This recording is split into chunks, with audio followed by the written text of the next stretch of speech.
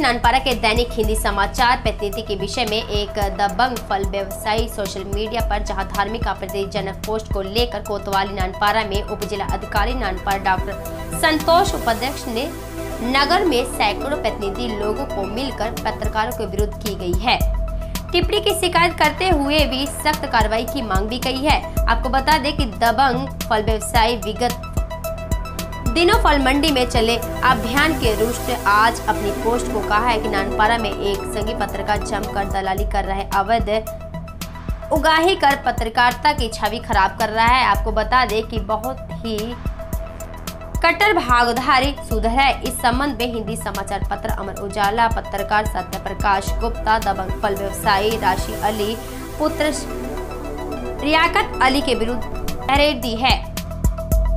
ये देखिए नानपारा से ही संबंधित काफ़ी लोग थे। वो जिस व्यक्ति ने टिप्पणी किया था, वो राशिद अली नाम का एक व्यक्ति है। कोई व्यापारी है, यहाँ पे व्यापार का काम करता है।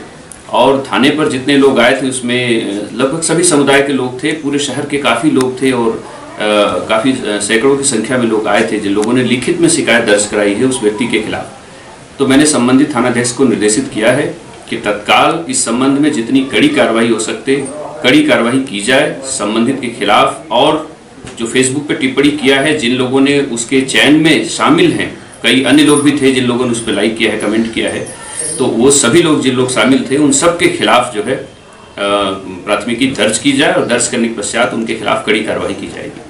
Okay sir thank you latest news देखने के लिए प्राइम ब्रेकिंग न्यूज़ चैनल को सब्सक्राइब करना ना भूलें और साथ ही डेली अपडेट्स पाने के लिए बेल आइकन को प्रेस करें।